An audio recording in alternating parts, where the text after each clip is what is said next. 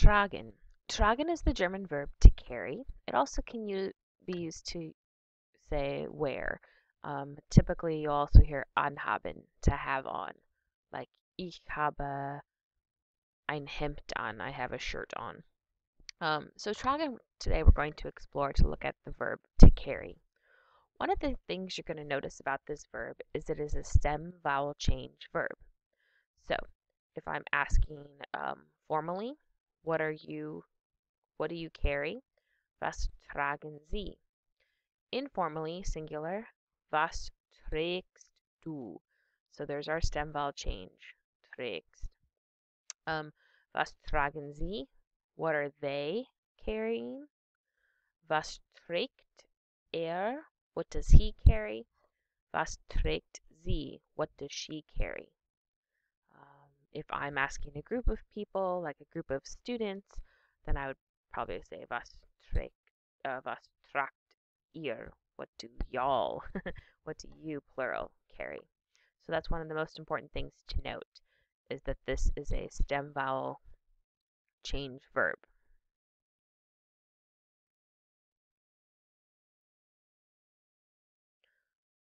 Another way to kind of explore this idea of carrying um, is using the verb mitbringen. Was bringen Sie mit? Was bringst du mit? Was bringt ihr mit? Was bringt er mit? Was bringt sie mit? What does she bring with? So mitbringen um, is to, to bring along or take along. Um, I guess bring along. So this is a stem vowel change verb. So notice what happens is we separate the prefix. I'm sorry, this is not a stem vowel change verb. this is a separable prefix verb. We separate the prefix from the verb. Then we conjugate the main part of the verb for our sentence or question.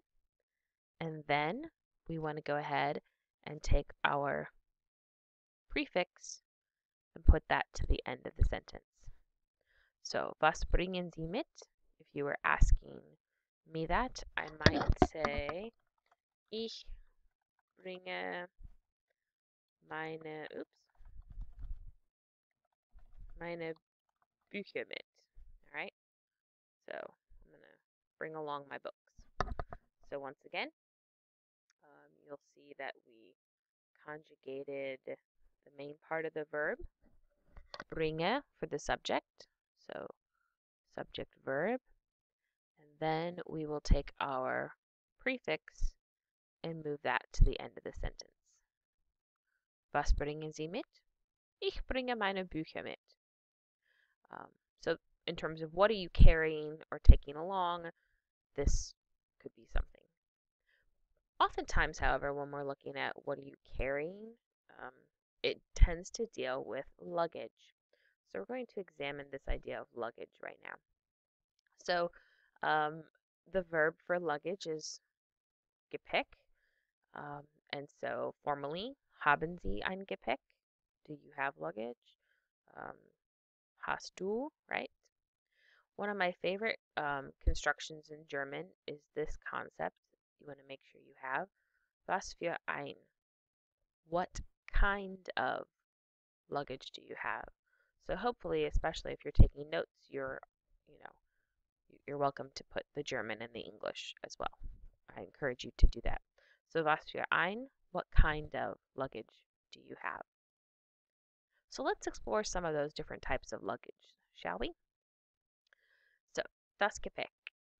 We have a Koffer, suitcase, Tasche, bag, Paket, package. Let's take a look at Tasche. Tasche, Tasche is used in other types of luggage as well. So these are kind of some basic ones. We have Aktentasche, Schultasche, Handtasche, Einkaufstasche. So bag, this becomes suitcase. This is a purse or a handbag. This is a shopping bag. Think of Einkaufen. Schultasche, a school bag, or in English, in American English, we say book bag. You also have a synonym for book bag, which is backpack, um, although typically um, more in American English we say backpack for a book bag. Backpack is usually, usually used for like camping or hiking, so that's a rucksack. So make sure you note all of these different types of luggage and look up and include their genders. That'll I'll let you do that. That'll be your job. Notice that whatever the gender of Tasche is will also be the gender of these four words because when you have a compound noun in German, the last part of that noun takes the gender.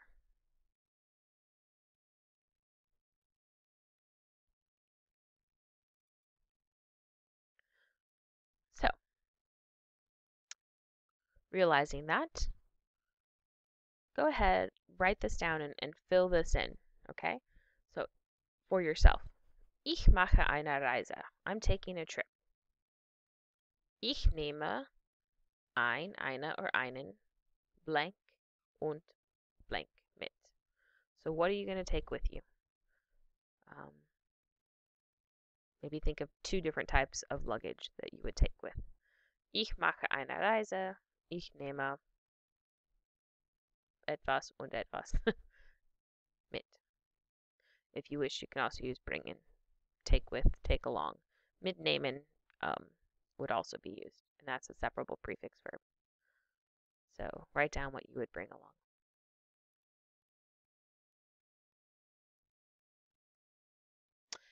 Here's a good sample paragraph to jot down. So zum Beispiel, Frau Herrmann trägt eine Handtasche. Okay, so trying to figure out which one is uh, Frau Herrmann. Sie ist rot. Now, she is not red. Sie refers to the purse, right? Because it's feminine. So, Frau Herrmann trägt eine Handtasche. Sie ist rot. So this is Frau Herrmann. She has the red purse. Ihre Freundin Rudi trägt auch eine Handtasche. Ihre Handtasche ist grün. So, hier ist Rudi, hier ist Frau Herrmann. Frau Herrmann trägt eine Handtasche. Sie ist rot. Ihre Freundin Rudi trägt auch eine Handtasche. Ihre Handtasche ist grün.